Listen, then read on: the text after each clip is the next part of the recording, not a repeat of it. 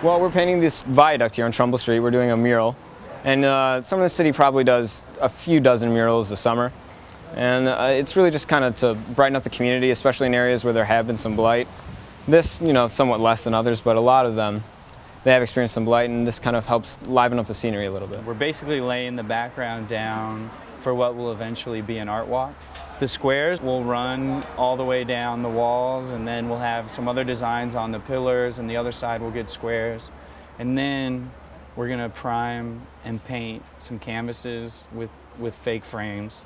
And then we're gonna bring 30 artists from around Detroit in to contribute to those panels.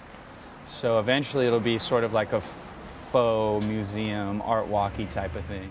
We should probably paint like right here. Probably like fill that in. I'll paint like. It was like a personal choice because I have to do community service for school and I heard about this and I thought it was a really great program. When people would like drive by and they honk and like people stop by and they tell like they say how great it is and how love how they love like what we're doing and stuff. Makes us feel good. I really needed to do something this summer to help people. And so I decided to volunteer. Plus for my school, like they really want us to, um, like they want the students to help us and uh, to help the community and give back.